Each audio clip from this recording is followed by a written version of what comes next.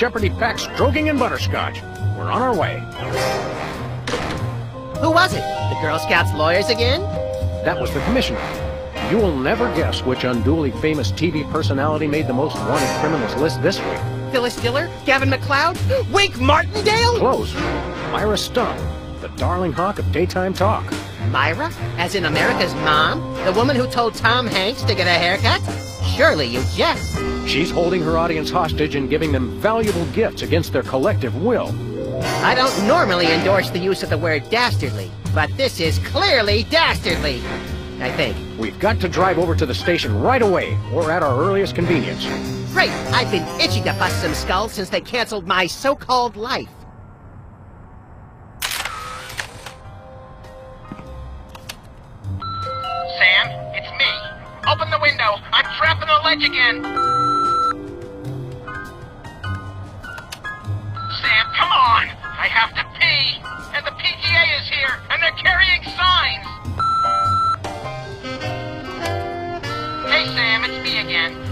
To solve all three of my problems at once. But I'm going to be needing bail. Hi, Sam. This is your therapist calling. I have to cancel our appointment because I'm giving up the practice to go into publishing. Speaking of which, thanks for all your great material.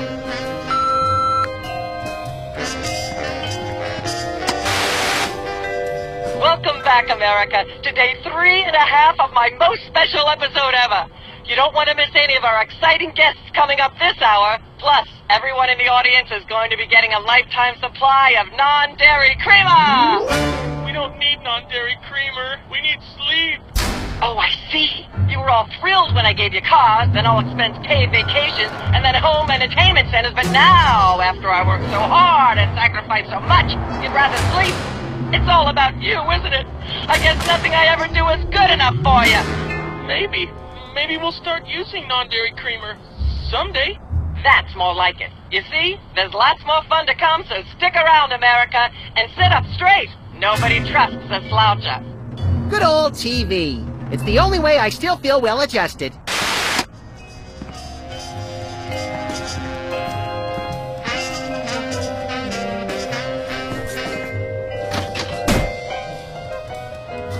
Ah, Brady Culture's hair.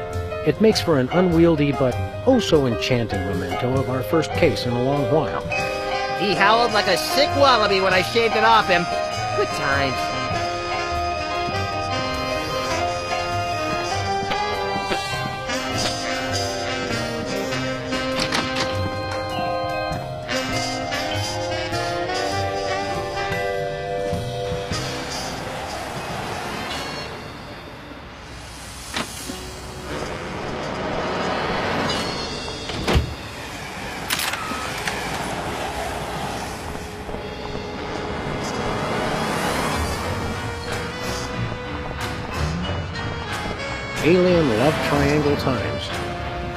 Like they're sold out.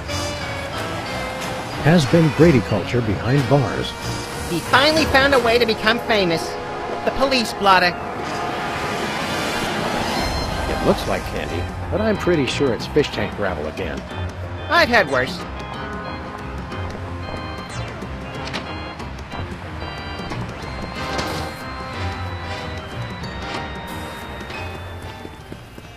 What ho! Samuel? Maximilian?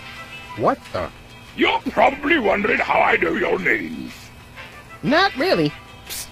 It's me, Bosco. What's with the slanted soup strainer, Bosco? Bosco? I know not that moniker. I am Lord Reginald Rumplebottom, Earl of Dukedom, with her. Sam, what language is he speaking? I'm not sure, Max, but I think it might be English. no, really, what made you convert to British? It's 'cause everybody's got an in for me, that's why. Yeah, we heard. I had to get a disguise to throw 'em off the trail. Oh, they'll never find me now. They wouldn't even know where to begin to look. Clever clogs. What sick forces of evil are bedeviling you this time? It's the skin bodies, man. They're after me. Skin bodies? Sounds like a pack of belligerent nudists. Oh no, the skin bodies are like skinheads, but ten times worse.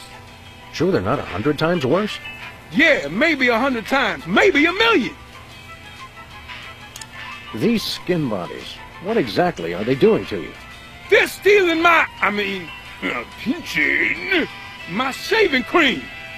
Of all the things of yours they could pinch, why the shaving cream? So they can shave their bodies, of course. Of course. Not to be rude, but why isn't your fancy pants defense system stopping these skin bodies? Well, after the whole video delivery conspiracy, I figured I better build something to keep people from bringing stuff into my store. So? So, I needed to borrow some of the high-tech detecting parts from BTEG. Meaning nothing stopping people from taking stuff out of the store anymore. Dash it all! I knew I forgot something! Hands in the air, Bosco. You're coming with us. Good heavens! What is the meaning of this? We're taking you in for masquerading as a man of class and distinction. What the devil? Surely you jest. Yes, surely we do. On the bright side, now you can add the police to your long list of paranoia-induced nightmare subjects. Mm, Pshaw, piffle, pish posh. We want to buy something. Yes, mm, uh, quite so, quite so. Do you have any complimentary fresh garlic? No, Do you have any fine leather jackets? no, Do you have any gumballs the size of your head? no, Do you have any plus two plate armor of limitless squeezability? no, Do you have any Pez dispensers with the head of infamous Mexican revolutionary Pancho Villa? Do you have any ketchup? no. Uh, oh, wait! Got you! Blast! Drat! Dash it all! What have you got? Well, there is still one kind of shaving cream the blooming skin bodies haven't got yet. Oh, yeah, I love shaving. That's funny. I've never seen you shave. I didn't mean myself. And I have a most peculiar device behind the counter. What peculiar device are you so eager to pawn off on us this time? It's the latest in Bosco tech innovation. A delightful invention I like to call a chemical-based voice modulator. Voice modulator? What's that? I do believe it's self-explanatory. We don't really have time to explain it to ourselves. Why don't you just explain it to us? Well, it alters the frequency of your voice molecules. Very useful, very useful. We'd like that voice modulator. That will be 30 shillings. Yeah, I left our shillings in my other pants. How much in dollars? Let's see. Uh, 30 shillings would be about 1 million American dollars. A million bucks? No way are we giving out that many tickets. I think we'll have to find an entirely new revenue stream if we want that voice modulator. Worth every shilling, trust me, trust me. Nothing for us right now. Indeed. Thanks, Bosco. Hip hip, honey nut cheerio.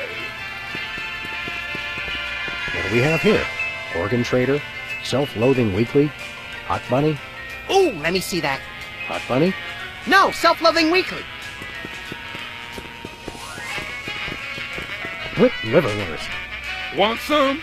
Absolutely not. Sludgies. This week's flavors? Bangers and mash. That's sausages and potatoes to you Yanks. Oh, good. For a second, I thought it was something disgusting.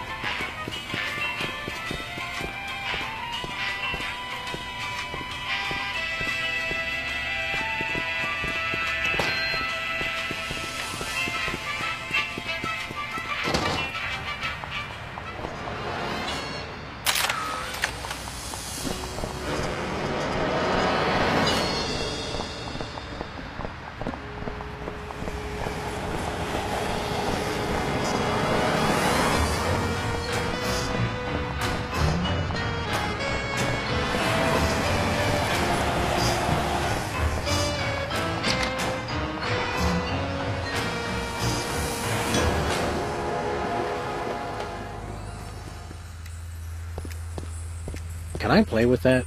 No, it drives people crazy. Who? Me. Sam! Max! How nice to see you! I don't suppose you have any candid photos of little green men feeling frisky, do you? What? It's my new career. I'm a tabloid publisher specializing in the thoughtful analysis of groundbreaking news of interest to myself and others like me. What's it called? The Alien Love Triangle Times. So you're a publisher now? What happened to psychotherapy? I've always had a fascination with the suppressed and the sensual, and for telling people too much about both. Publishing the Alien Love Triangle Times is a logical extension of all my previous careers. Except maybe Vatican spokesperson. Are you doing any psychotherapy on the side? Only on space aliens. I guess that narrows your clientele quite a bit. No, not really. What was it you said about a photo? My new tabloid, the Alien Love Triangle Times, needs a cover photo of an extraterrestrial biological entity, or alien as the unwashed masses calls them, caught getting cozy with some of the locals. Sybil, I'd like the record to show that although I support you as a friend, your latest project makes my skin decidedly crawly. Me too, and I like it. So, you're looking for a cover photo of little green men canoodling, right?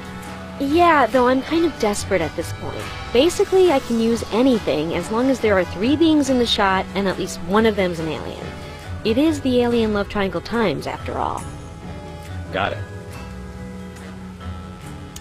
There's nothing like good, hard-nosed journalism. You said it! It's time to find out the real answers to the real questions. Like what did those poor cattle do to deserve that? No! What do aliens do for romance? Do they love? How do they get their otherworldly thrills? By playing slots in Keno? That'd explain why they're always seen in Nevada. Have you learned anything interesting since you started this, uh, magazine? I learned why Elvis had such an otherworldly voice. Elvis was not an alien. Sure he was. He just wore makeup to cover his emerald green skin. Frankly, Sybil, this project is disturbing, as well as distressingly intimate. Like seeing Stephen King getting a hot butter massage.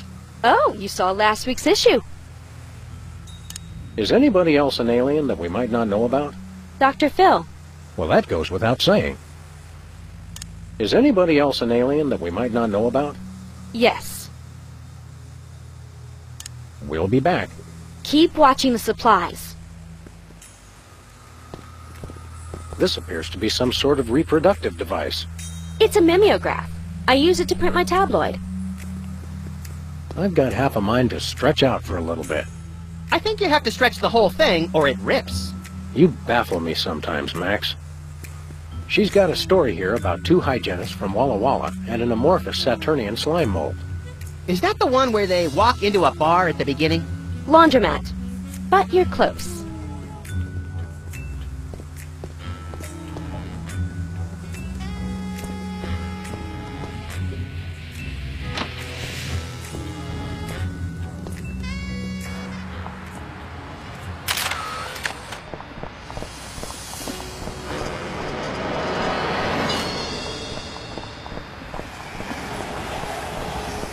Going, Sam? The TV studio. Goody!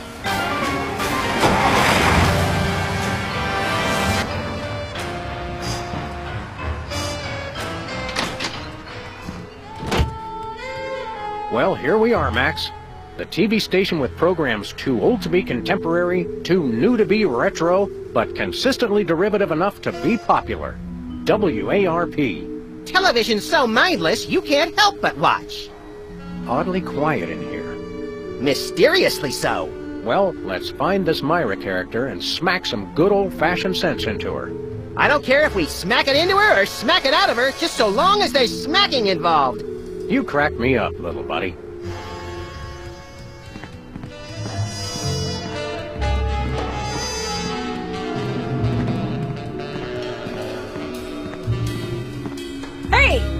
Actors only back there. But we're police. Yeah, I'm sure.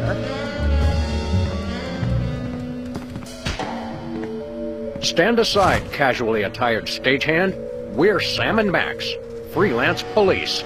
We've come to save some pathetic hostages from the clutches of... Okay, I'm gonna stop you right there. Number one, I'm not a stagehand. I am the director. The director! Could have fooled... Number two, we're no longer holding the auditions for animal cops with crippling mental disabilities and a lust for dance. Oh no, we're not actors.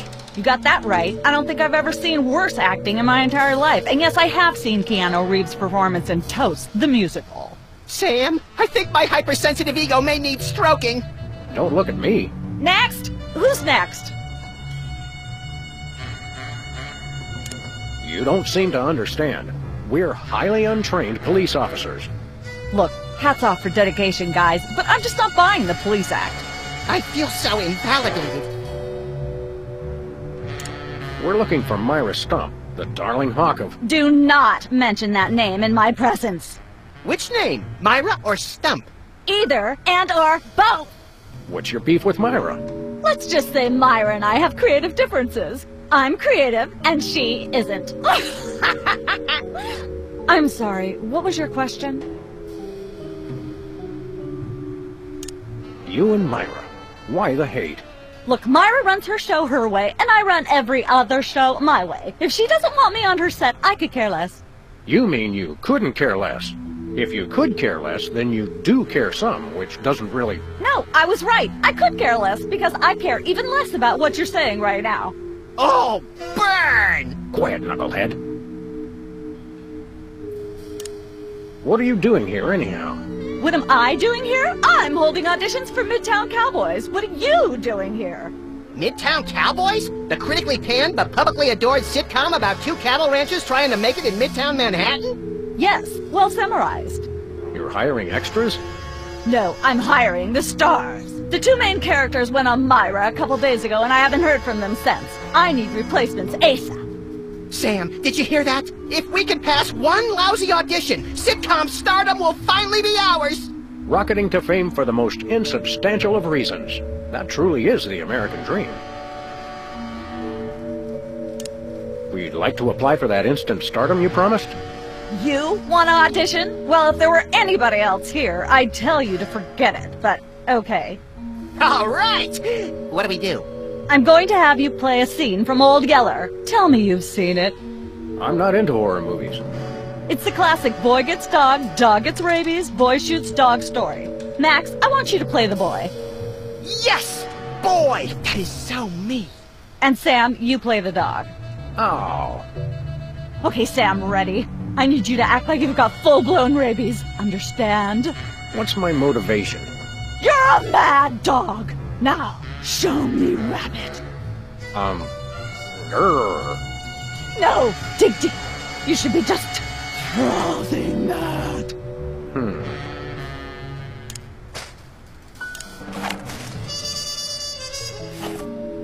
Cut! What are you doing? Sorry, I'm not hiring a dog who can't even do a simple rapidity scene. I don't know what went wrong. I was feeling so rabid. You look pretty disease-ridden to me. Come back after you've taken a few thousand acting lessons.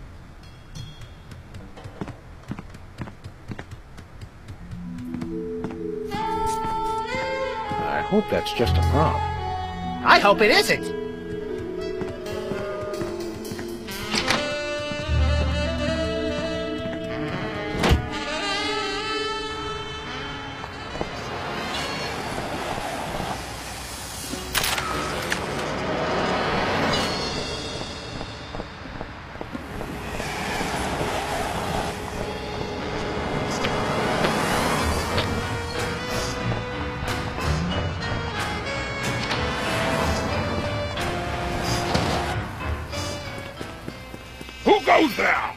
Oh, it's you lot. I could use a shave. I'll say. Your five o'clock shadow goes clear to your ankles. Arthur is dog. Big dog. The skin bodies rule the streets. Blast! Bugger! Blimey! Balance! The little bladder did it again! After him! I mean... Uh, tally ho, fool!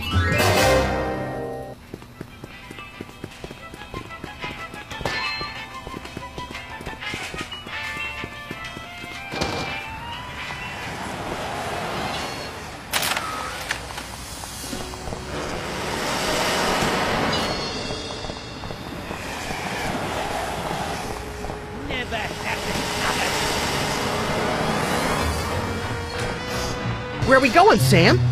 Hey, the skin body shanty stuff! after those rats!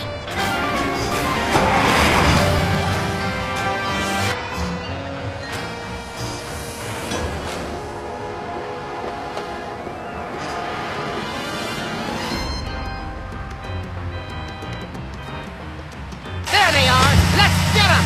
How do those laughably small wheels move so fast? You'll never catch us!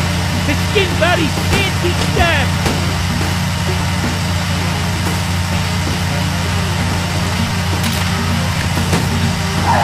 Hit the wheel, little buddy. I thought you'd never asked.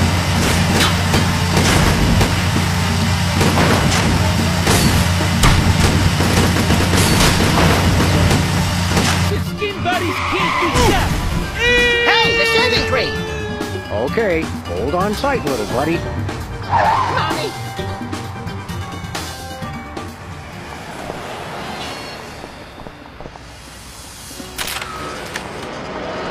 Where are we going, Sam? The TV studio. Goody!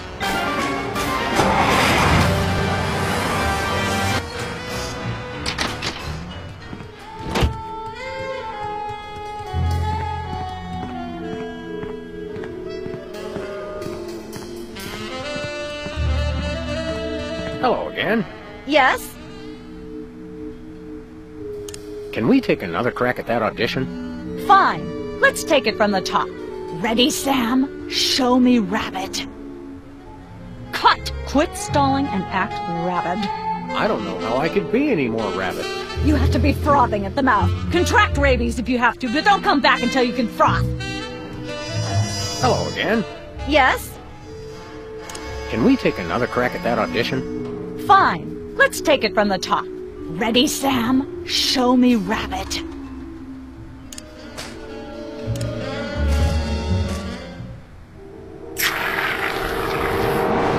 Brilliant! Now that's what I call diseased. Thank you, thank you. First off, I'd like to thank all the little people who... Zip it. Okay, Max, you've just realized your dog is walking death, and you'll have to put him down for the good of society. Really? You're sad, you're despondent, you're grief-stricken. Now, show me the emotion. Uh, boo-hoo? You call that emotion? I've seen Myra show more emotion, and she ought to be declared a national Botox reserve. Grief, I said. Give me grief. Uh...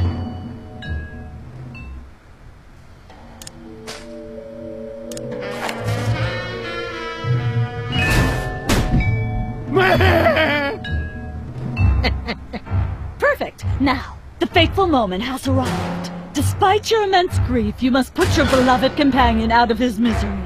Okay. Uh-oh.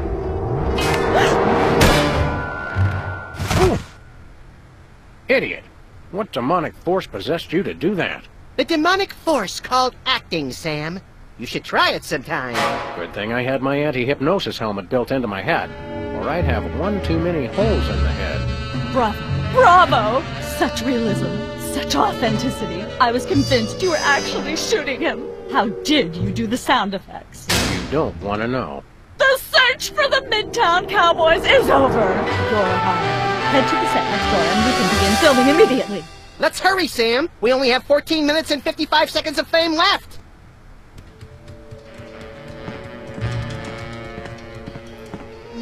Right, people, let's get the stage set up. The celebrity host will be here any minute.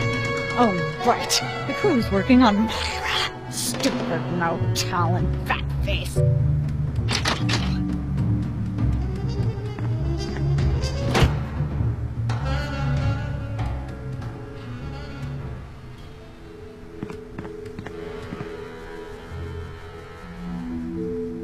Weren't you just... I think she just defied the laws of physics. Sorry, you'd be amazed how many times a day I have to do that. Things tend to be hectic here. Doesn't bother us a bit. Sam and Max, consummate professional actors, reporting for duty. you said duty, Sam. I knew you guys were right for this show. Speaking of which, could you perhaps explain the show a bit? Okay, here's the drill. On Midtown Cowboys, you play a pair of cattle ranchers trying to raise a herd in an apartment in Manhattan. My Uncle Ernie did that, except it was pigs. And not in an apartment. I only see one cow. It's a small herd. You're struggling, okay? Okay. You've got this landlord, Mr. Featherly, who has a very strict no cows policy. Devilishly inconvenient. I begin to see from whence the hilarity sprouts. Yes, Featherly is always barging in, and you try to hide the fact that you have a cow in the apartment. Lots of sight gags, usually something gross winds up happening. Simple enough? Great. Where's the script? Well, there's a slight hitch. The cow ate most of the script, so you're going to have to ad-lib the show. Ad-lib? Yes, make it up as you go. Improvise. Well, I guess our regular life has given us plenty of practice. Don't worry, you'll be working with Philo Pennyworth, who plays Featherly. He's a brilliant actor, classically trained. Globe Theater and all that. Just set him up to do something funny and he'll handle it from there. Check. Anything else? Actually, yes. We did save one line from the script, and it's really important to work it in, because it's the product placement that pays for the whole show. One of you will have to say the line. Me, me, pick me! All right, Max. Your line is this. Better get the serious toothpaste. I like it already.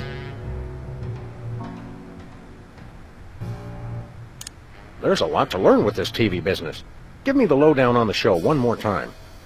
Midtown Cowboys is about two cattle ranchers raising a herd in a Manhattan apartment that has a strict no-cows policy. Your basic visual hijinks and occasional gross-out humor ensue as they concoct elaborate ruses to keep their cow hidden from their landlord, Mr. Featherly. Can we take five? The Screen Actors Guild will break my knuckles if I say no, so go ahead.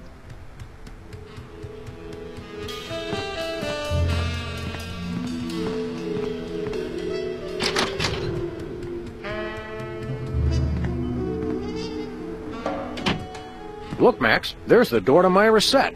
Let's get in there and liberate her literally captive audience. Sam, forget the hostages. There's somebody famous. It's Hugh Bliss. Who, Bliss? No, Hugh Bliss. Inventor of prismatology. Helped millions unlock the power of their personal color spectrums. Right. The stage magician turned happiness guru. Like we didn't have enough of those already. I want to meet him. Fine. But if he magically pulls another rainbow butterfly out of somebody's ear, I'm leaving. Hi, Hugh Bliss. Hi, I'm Hugh Bliss. Yeah, we know. And you are Sam and Max, freelance police. How do you know? Do you believe in magic? Cause I do. So, Hugh Bliss, what brings you to WARP? I too am here to meet Myra. How you know we came for Myra? Oh, oh, oh, oh, oh, oh, don't you see? I can read your mind. As the resident doubting Thomas of this crime-fighting duo, I consider it my civic duty to say, prove it. Okay, think of something, anything. Six million three hundred seventy-three thousand four hundred eleven point nine eight. Sam? Lucky guess. Was it? Think of something else. Pennies on the eyes of a dead mime. Well? I must have been silently mouthing the words. Really? Think of something else. Hugh Bliss is a big fat charlatan. Was he right? Big deal. Everyone thinks that. Oh? Think of something else. Enough of this ridiculous farce. Stop it. do me, do me. Oh, oh my. And that's unspeakably depraved. Yeah, you got it. Wow, you're amazing. What's your business with Myra? I'm to be a guest on her show, silly. Yeah, silly. I'm spreading the word about my new book, Emetics, the handbook for multicolored happiness. Take a copy when you leave. Can you just give us the 10-word summary instead? We're on a pretty tight schedule. Ten words. Oh my! How about prismatology is the answer? Unicorns are pretty, and rainbows too. That's ten. What's the story on this prismatology flapdoodle? Prismatology is only the greatest intellectual, emotional, and spiritual revolution ever to grace this fair planet. Thank goodness we have someone who can give an impartial assessment. Shh! Tell us more. Join Prismatology today, and you too can experience the magic of true bliss. That goes against everything I've ever hoped for, and yet now I'm strangely attracted to the notion. Snap out of it, little buddy. We've got a case to solve.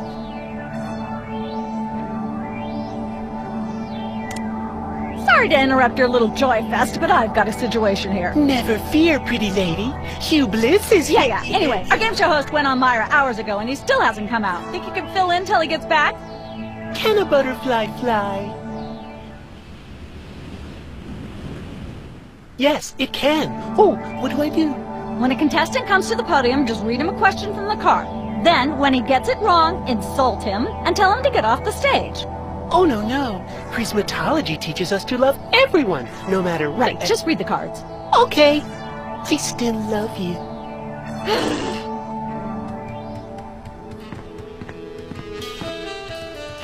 It's polite to knock. You do know we're taping a show here. Great day in the morning. It's Myra Stump herself! Yourself. How about letting your hostages go now? What do you say? Hostages? They're my guests. You know, if there's one that fries my burger, it's the rampant victim culture in American media today. Oh, boo-hoo! Myra's audience all got luxury minivans. Now they have to worry about where they're going to park. Bah! I know what you mean, Myra. It's like I'm always telling people, don't think of it as a bullet wound. Think of it as a transfusion opportunity. Seriously, we're officers of the law, more or less, and we'll have to insist that you free the hostages. Of course. Just as soon as the show's over. And when is that exactly? Oh, who can say? We still have so many gifting opportunities. I just found a year's supply of industrial strength soap backstage. I think I'll give that away. Or else have a valuable lesson on curing potty mouth. Your eyes look a little spirally. Are you feeling all right? Of course I am, sweetheart. By the way, when was the last time you brushed your teeth? And you should really be flossing.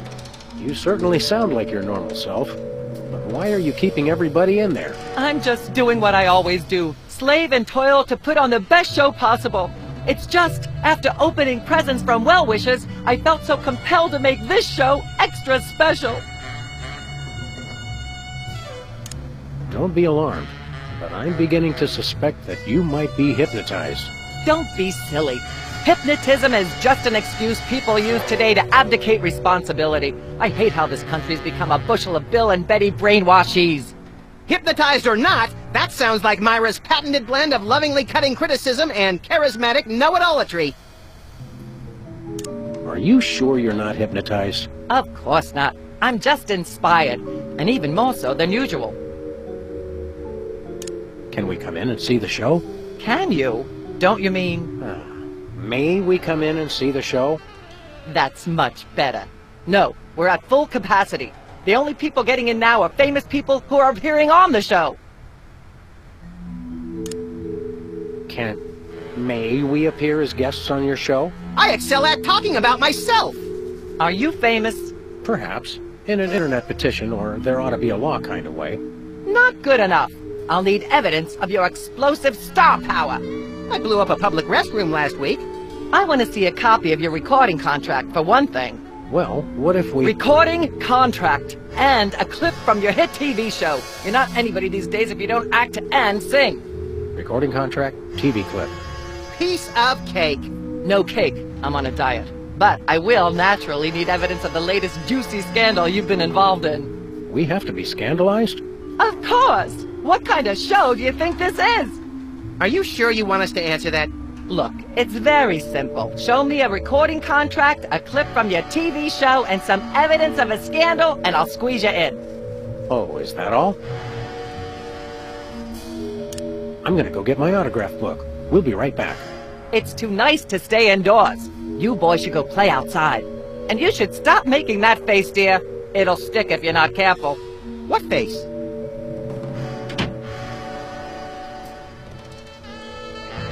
Hi, Hugh Bliss.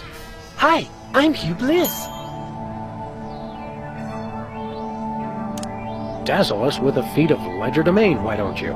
Okay, I'll show you the magic of prismatology in action. Pick a color, any color. Ochre, ochre! No, mauve! Burnt sienna. Uh, how about a color I've heard of, hmm? Pick a color, as long as it's red, green, or blue. It's not easy being green. Oh, but it is, with magic! Ah, I know what you're thinking. Is it real, or is it illusion? Say, Hugh Bliss, can we get a picture with you for our scrapbook of instantly forgettable memories? Splendid idea. I wish I'd thought of it. Oh, and in fact, I did. He, hence the camera. Now gather round. But how will you take the picture? By magic. Okay. Say, chocolate-covered puppies. Chocolate-covered puppies. So where's the picture, Magic Man? Oh my. I seem to have misplaced it. Hmm. Check your pockets. Maybe I left it there. Bye.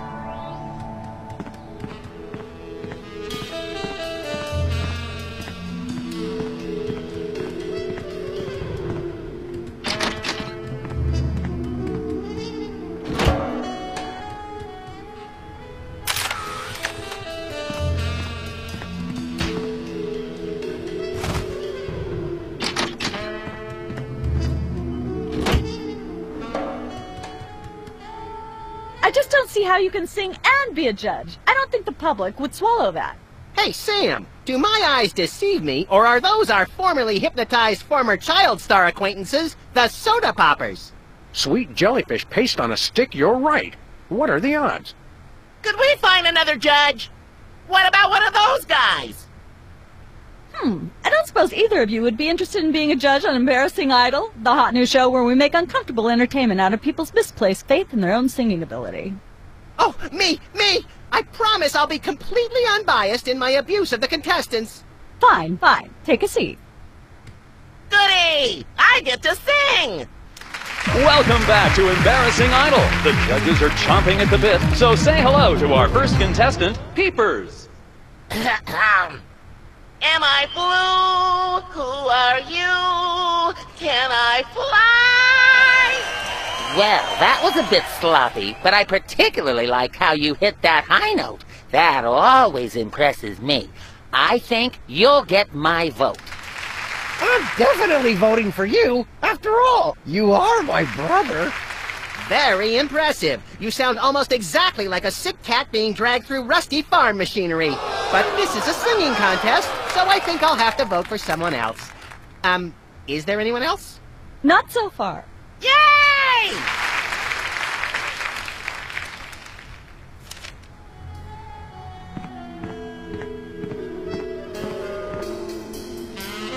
Hey, can I try my pipes out on this thing? Go right ahead. Frankly, we can use all the contestants we can muster. Ladies and gentlemen, please welcome our next contestant, Sam. Hello. I'd like to do a little song I call.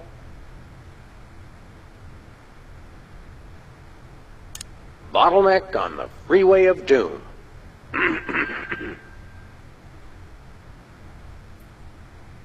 May the starfish justice not impugn. Thinking about the rings on the great raccoon.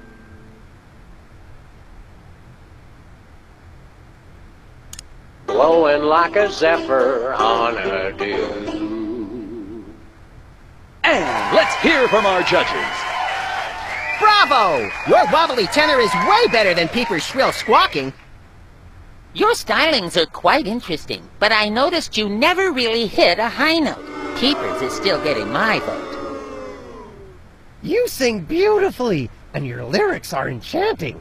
But Peepers is my brother, so I pretty much have to vote for him. Oh. Remember, folks, on Embarrassing Idol, the decision of the judges must be unanimous. Stay tuned for more exciting action after this. And we're cut. It's okay to sing again if you want to, by the way. Could improve your chances.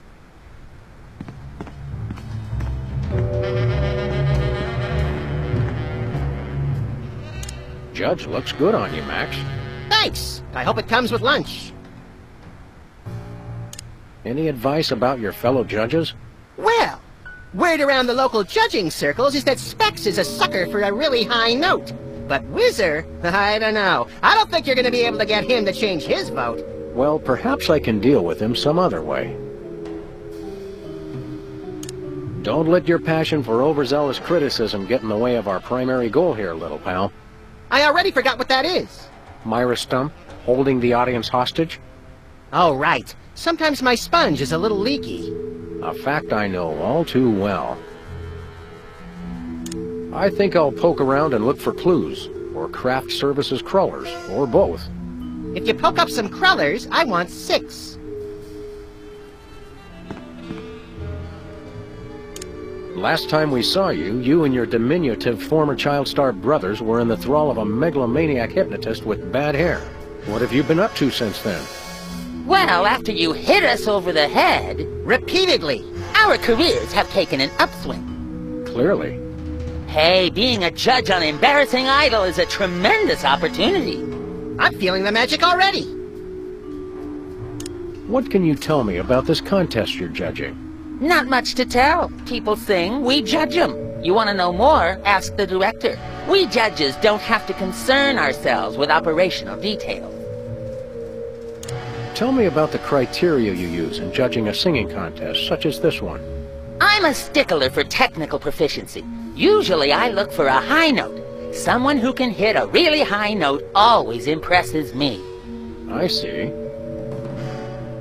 If you'll excuse me, I've got some lines to color outside of. It's your life.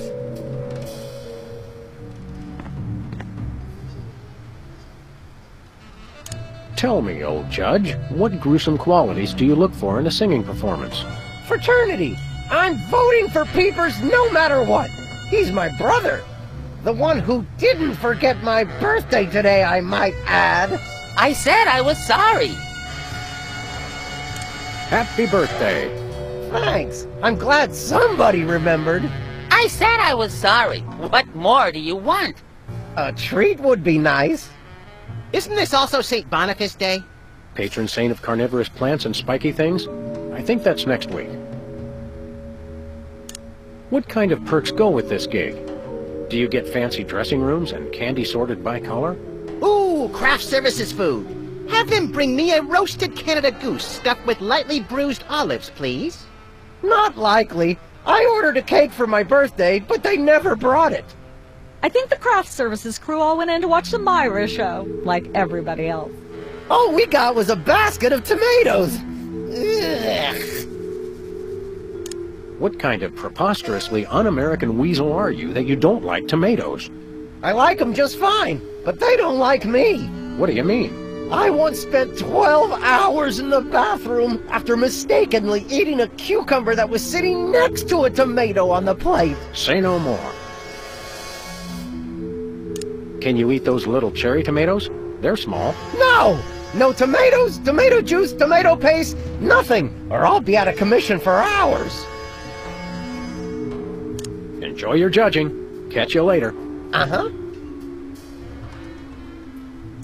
So, Whizzer's birthday is today, huh? See? Some people pay attention to these things. Oh, come on. I already said I was sorry for forgetting. I confess I don't really understand how you could forget Whizzer's birthday. I mean, aren't you guys triplets? Technically, yes. Happy birthday. Yeah, yeah. If you'll excuse me, I've got some lines to color outside of. It's your life.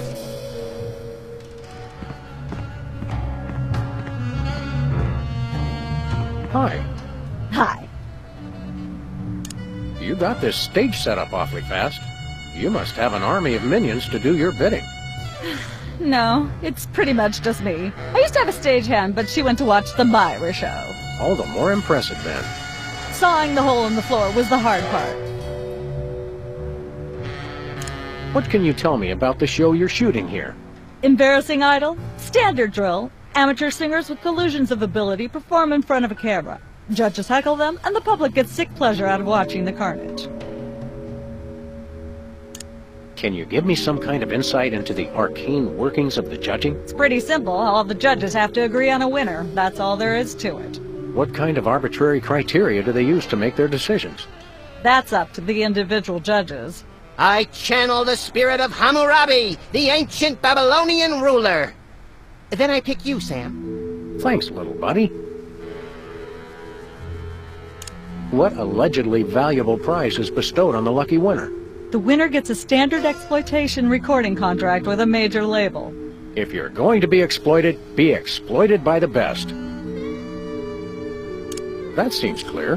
Thank goodness. What's it like working with the soda poppers? Oh, the usual. They prance around to make unreasonable demands, but they knuckle under because they're desperate to be working at all. Same as the rest of us, really. Your bleak outlook is oddly refreshing. Well, I'm sure you're very busy. You got that right.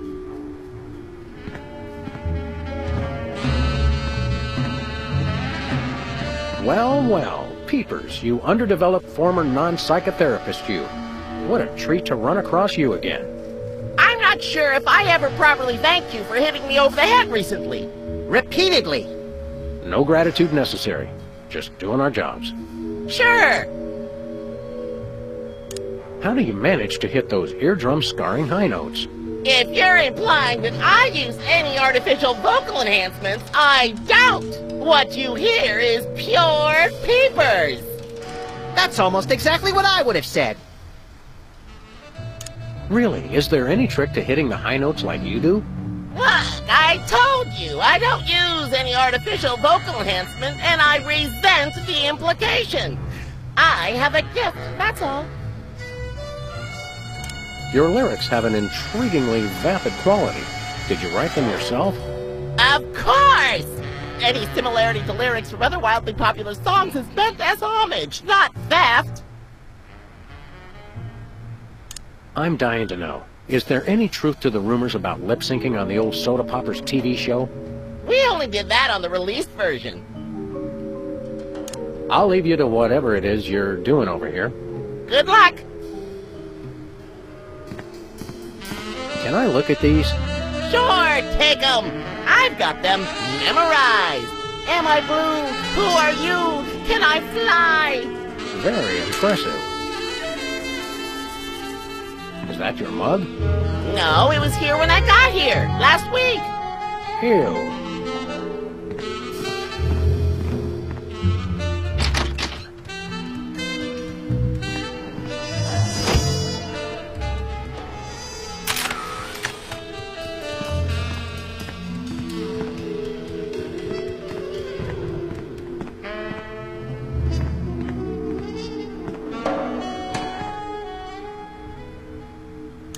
We're as ready as we're ever gonna be. Let's start taping the show. Okay, now remember, your landlord's at the door, and you don't want him to know you've got a cow in there. Ready? Action! They're probably hiding a cow. Open up in there. I know you're Let hiding there be a light. cow. Hey! Open up! There we go. Life of the party. up in there.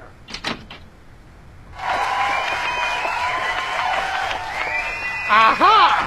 I know you got a... Well, well, well. Who's your guest, boys? This is the French chef we hired to satisfy our inexplicable, insatiable craving for omelets and duck au la And frog's legs. I like mine extra crispy. Oh, a French chef, eh? I love French bread and, and French fries. I went to Gay Paris one time myself, you know. It was back in my army days.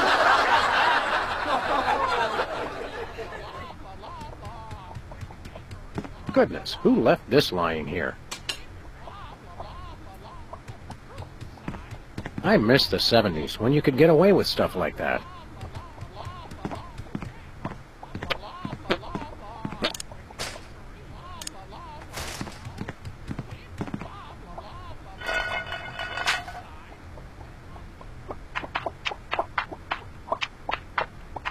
Say, what's this?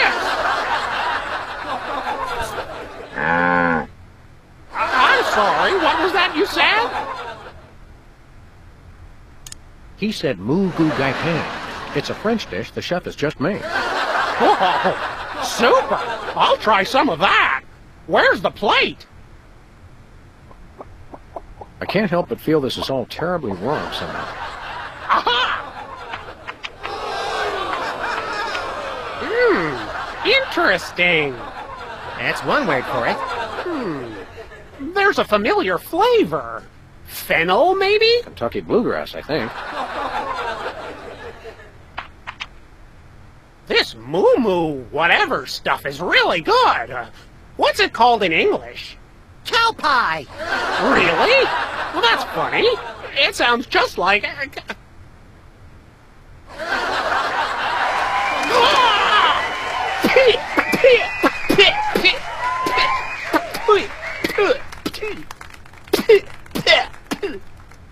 Now?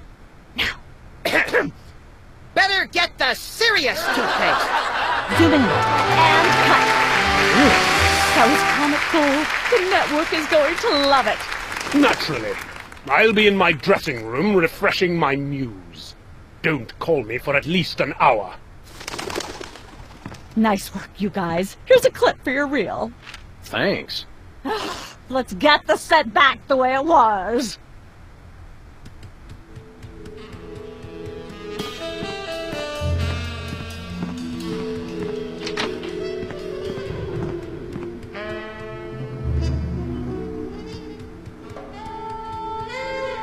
That's enough lard to clog the arteries of a major metropolis. Or start a circus of greased squirrels.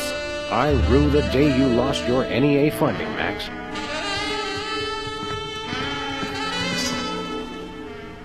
What's the story with this show? Cooking Without Looking? It's a cooking show aimed at motorhead bachelors who have never seen the inside of a grocery store. Is there a big demand for that? You'd be amazed. Where's the host? Is he in watching the Myra show? No, he's one of the few who isn't. He got food poisoning while he was taping last week's show. Right in the middle, in fact. Was it gruesome? Yes, and unfortunately, this show goes out live. Can we get a tape of the show? This one? No, it's broadcast live. We don't tape it. How do you do that teleportation trick where you're always everywhere ahead of us? Trade secret, honey. How do you keep it so clean in here? Complete absence of anything resembling food is helpful. Aren't there fruits or vegetables of any sort around here? Just the crew. I never get tired of that one. Okay, actually no. We strive for realism, and the average bachelor kitchen doesn't contain any natural plant life except mold. See ya. Probably. This fridge isn't even a fridge. It's a fake. Welcome to Cooking Without Looking, the cooking show for the typical bachelor kitchen, containing no fruits, vegetables, or healthy ingredients of any sort.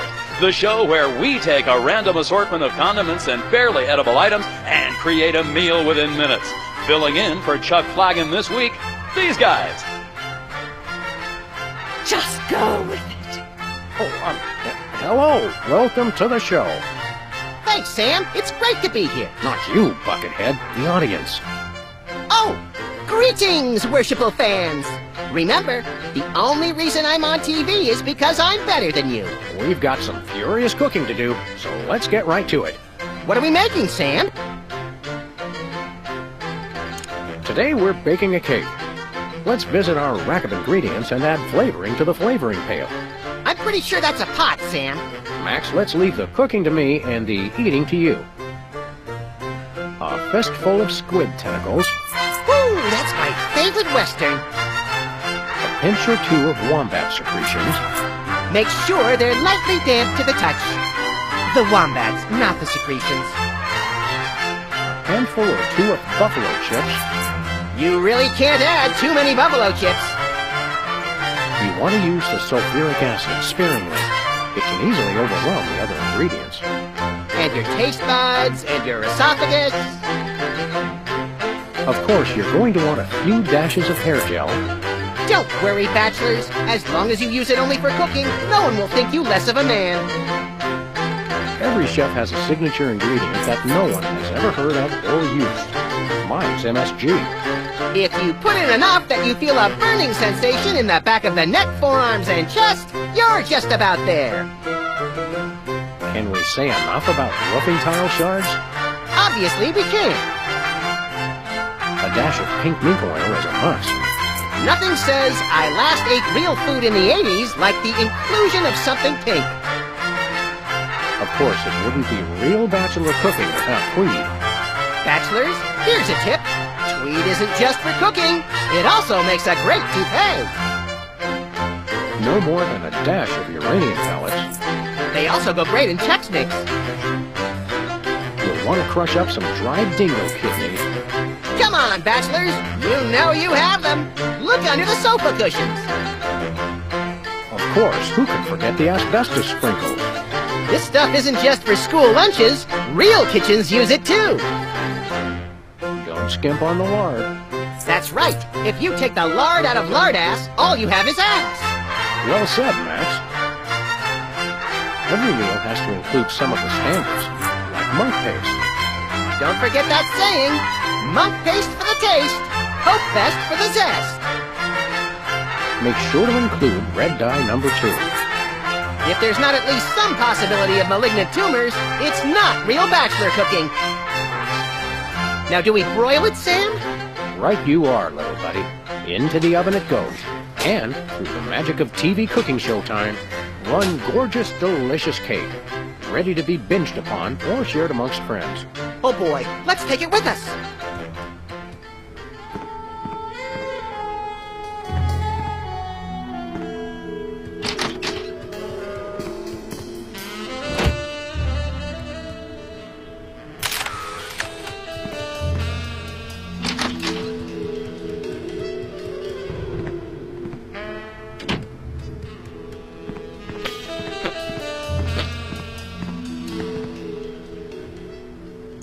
So how does this game show work?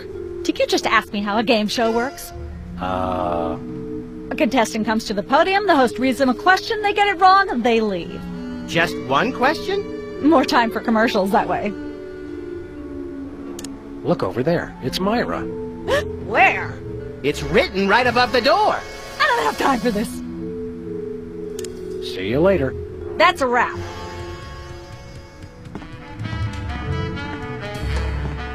We've got a contestant, people! Hit it! From somewhere deep within the bowels of WARP, it's Who's Never Going to Be a Millionaire with special guest host Hugh Bliss. Hi, I'm Hugh Bliss.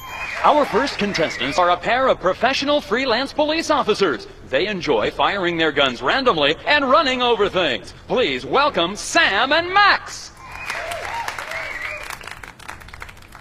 Listen, Sam, they love us! Welcome! You know the rules. If you can answer even one question correctly, you'll walk away a millionaire! Start loading the armored cars, Hugh, because my brain's stuffed with enough worthless trivia to power a small Chilean village for decades. It's true! Okay, are you ready? Oh, happy day. It's an easy one!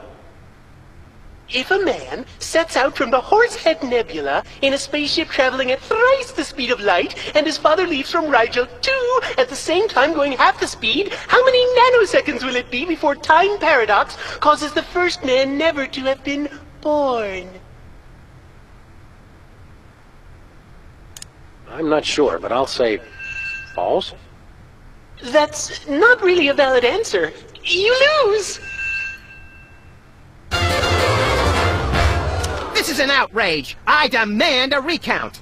We do have a fabulous consolation prize, a copy of Emetics by me, Hugh Bliss. No thanks. I'm content to leave with just my burning shame and newfound sense of inadequacy. Okay.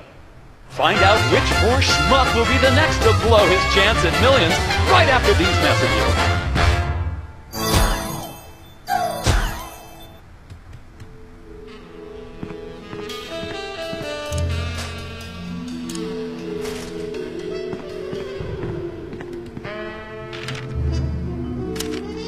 Perfect fit. That's where I'd stand if I were the host, which I'm not. We've got another contestant. Hit it! Welcome back. Our next contestants are these guys again. Okay, are you ready? Hmm. The question is, am I blue? No, Hugh, you're not blue. Oh dear! Oh me, oh my! That's absolutely right! Yes. Congratulations! You're a millionaire! We're rich! Filthy rich! We just went bankrupt, so we will not be back after these messages. I don't believe it. Well, this is awkward, but we don't actually have a million in cash. Sweet mother of all quiz show scandals. We'll have to give you a million dollars worth of food stamps. They're right over there. Hold on. Can you buy deep-fried licorice ropes with food stamps? We'll take it. One, two, three, 174, 175, 999,999, and a million. Let's go spend it, Sam. It's burning a hole in my pocket. It's putting quite a bulge in mine.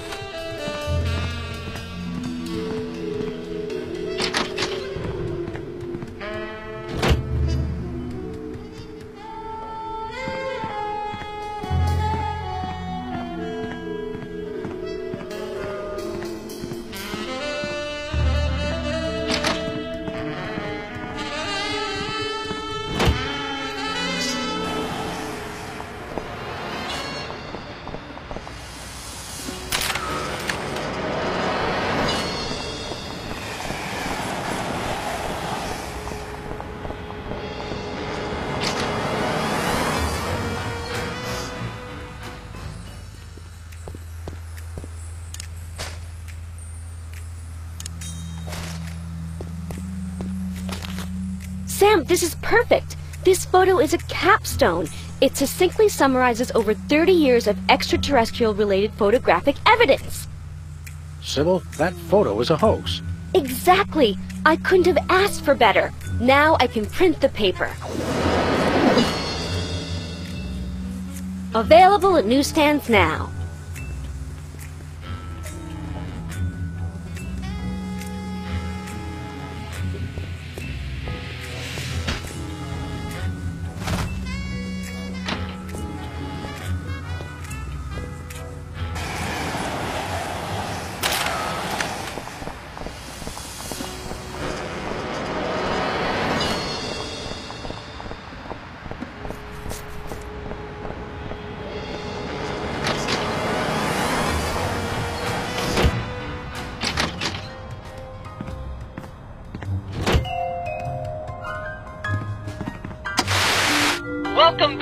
America, to day three and a half of my most special episode ever.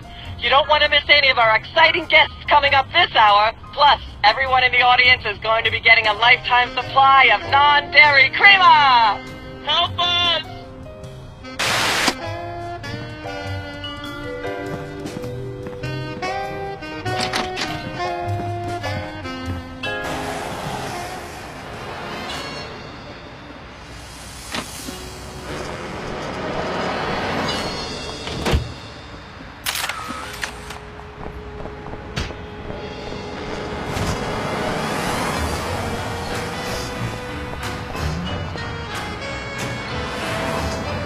famous.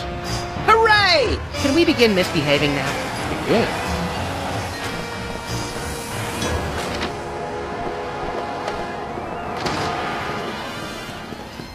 It's Sam and Max. I saw you on the telly. How do you watch TV from in there? I've got monitors you don't even know about. Hello, sir. What ho, old bees?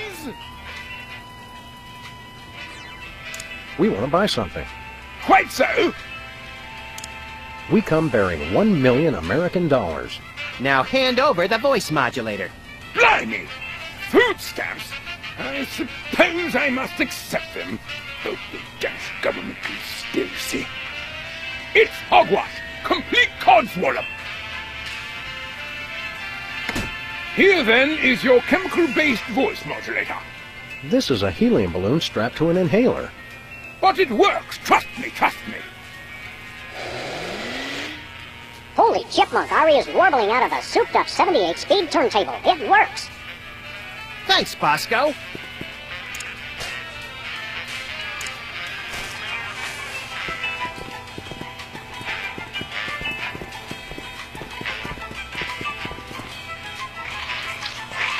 A little ketchup is always good on a cake.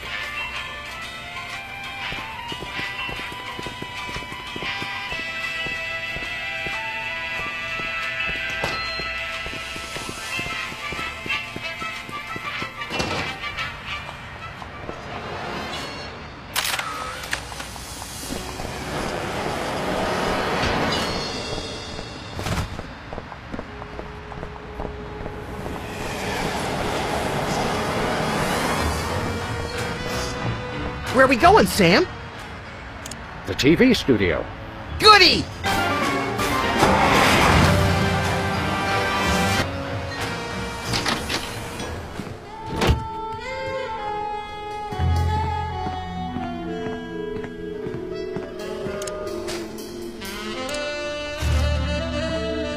Happy birthday.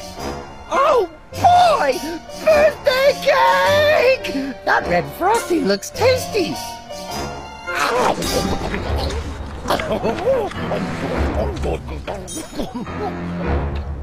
Excuse me. Boy, that was really... Oh, really? Uh, uh, uh oh, oh. Time out for number two! What the? Darn it! He better not be going to see Myra. Well, anyway, we can't wait. We'll just have to finish the show with only two judges. Whatever you guys agree on goes. Vote for me!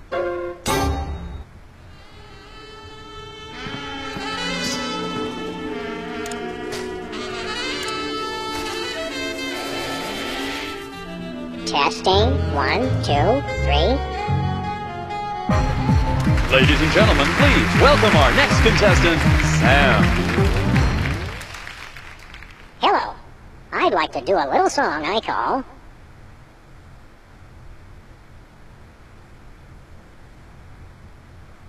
Love has a thorny backside.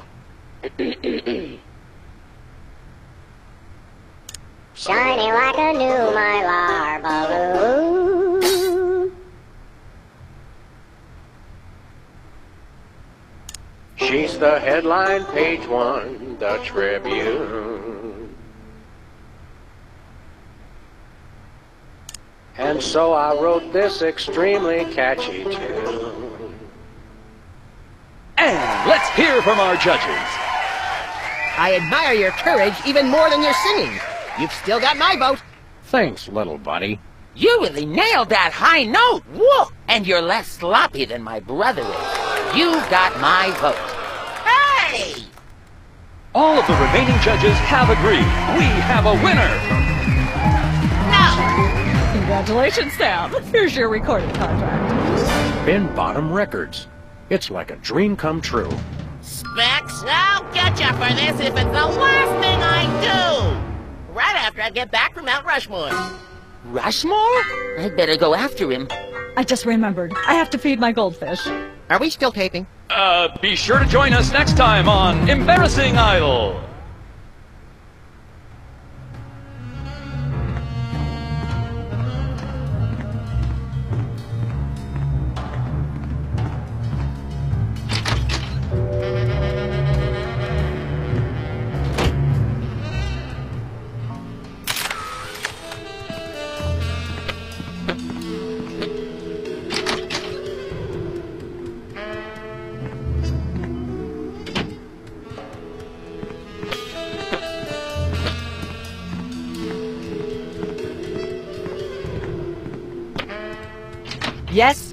Oh, you two again. Well, what is it? You've got the length of one commercial break to explain yourselves. Remind me what your requirements are for guests on your show? Of course, dear. I'll need to see your recording contract, a clip from your TV show, and some evidence of a juicy scandal. What if we have our own video game? Video games? Ugh, those things will ruin your eyes. They're awful. We do have a recording contract. In Bottom Records. Take a look. Now how about having us appear on your show? Not so fast. To get on my stage, you'll also need a clip from your own TV show as well as evidence of a good scandal. Fame is a distressingly exact mistress. There you go, dear. Although I strongly disapprove, having a mistress is an excellent start to a scandal. The public enjoys a good love triangle. Actually, we grace the cover of the current edition of the Alien Love Triangle Times. How's that for a scandal? Goodness. Well, all you need to do is get a clip from your own TV show, and I'll let you be on mine. Ooh, then we can return the favor and you can be on ours. Unfortunately, I'm too busy to laugh derisively at that offer, but remind me to do so later. As it happens, we brought a clip of our wacky hit sitcom, Midtown Cowboys. We're the stars. You'll have us on your show now, yes? Oh, I suppose so. If only as a starting point for examining the deleterious vacuousness of today's entertainment. Yay! Naturally, I will expect you to be on your best behavior and agree with everything I say and answer every question I have and don't interrupt and keep your elbows off the table and use your indoor voice. What about... While you're on my show, you stay in your seats at all times. You do not interrupt me when I'm talking and you treat the audience with the utmost respect, even if you become less sure with each passing year that they deserve it. Now, I'll call you on stage in a minute. Gosh, Max, Celebrity is just a never-ending set of arbitrary goals one accomplishes to appease a dismissive and distracted, if not entirely absent, authority figure. I don't know if I agree, Sam, but I've begun my decadent slide into a depraved personal hell just in case. Ah. Give her a hand, everyone! Bessie Bovine reading from her new book, The Heart Has Four Stomachs, Ruminations on a Life in Hollywood. Out now in all major bookstores. This microphone is starting to spark from overuse, but that doesn't mean we're ready to pack it in. We've got the stars of the not-quite-canceled sitcom Midtown Cowboys, who also happen to be the winner and judge of TV's Embarrassing Idol. Ladies and gentlemen, Sam and Matt.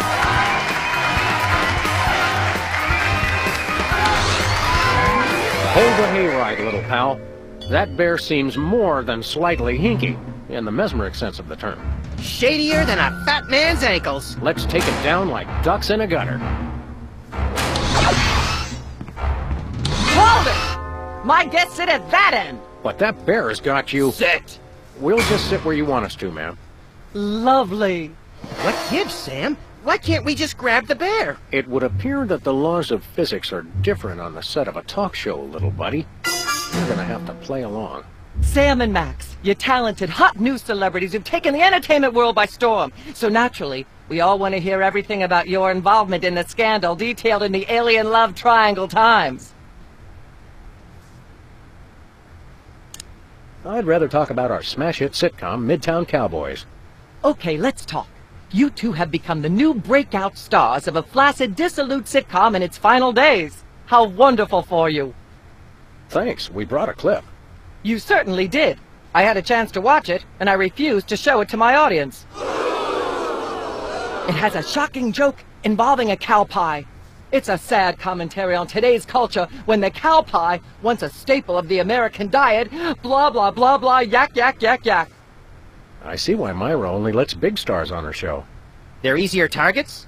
If you're big enough, there still might be something left when she's finished. Blah blah blah blah. ah yes. Where were we? I think we were discussing the alien love triangle times and that nasty scandalous affair of yours. I'd like to sing a song from my upcoming album, Feathers and Furious Scribbling. I'm almost certain the audience might probably enjoy that. Howling at that drippy old hunk of moon. She's at brunch today with some baboon. And so I wrote this extremely catchy tune. Thank you, Sam, for putting the num back in musical number. What a wonderful way to remind our audience that you don't have to be talented to be famous. And a perfect segue into my latest tirade about the lamentable state of modern popular music. I mean, blah, blah, blah, blah, yak, yak, yak, yak, bloody, bloody, bloody, yakety, yak, yak, yak. Blah, blah, blah, blah, yak, yak, yak, yak, bloody, bloody, bloody, bloody, yakety, yakety, yakety, yakety, yakety, yakety, yakety, yak, blah, Testing. blah, blah. One, two, blah, blah. three. Blah, blah, blah, blah. ya- I'd like to sing, if I may. Is that wise? Howling at that drippy old hunk of moon. Whoa! Careful there, Tiger. That was wonderful. I'm so moved I almost don't have a long hectoring screed in me. Oh no, wait! There it is! Thank goodness! Self-referential songwriting is a dangerously blah blah blah blah yak yak yak yak. Blah blah blah blah yak. ah yes. Where were we? I think we were discussing the alien love triangle times and that nasty scandalous affair of yours. There's something you should know about that picture in the Times. I'm not sure I want to know anything more. Maybe you big Hollywood types thinks it's funny to flaunt your polyplanetary pickups, but the rest of us find alien love triangles frankly disgusting. But the photo is not quite what it seems. How so? It doesn't tell the whole story. There's someone else involved. Someone the picture doesn't show. How shocking. Who? Bessie Bovine, our co-star on Midtown Cowboys. Oh my!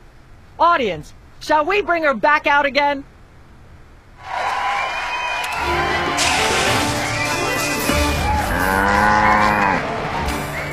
At the risk of making the obvious comment, that was shocking. Is she breathing? A little, but the creepy teddy bear is toast. Nuts. I wanted to ask it a few questions, and maybe use it to hypnotize Katie Couric. Another glorious dream bangs its chin on the dirty pavement. On the bright side, the audience is free to go home. Oh, I was just getting warmed up. Do you think Myra will have us back on the show again soon? Um, speaking of unlikely, did you notice we just had two cases in a row involving hypnotic mind control? Complete coincidence? Yes, I think so. The cogs of the universe synchronize in ways we're not meant to see. Speaking of things we're not meant to see, there's a new restaurant at the zoo where you can eat what they feed the animals. Empty popcorn cartons and cigarette butts. And processed bread logs loaded with tranquilizers and antidepressants. Bread logs make me logy. Let's head back to the cooking show set and see if we can figure out how to make fried pork rinds. Okay, but I get the feet.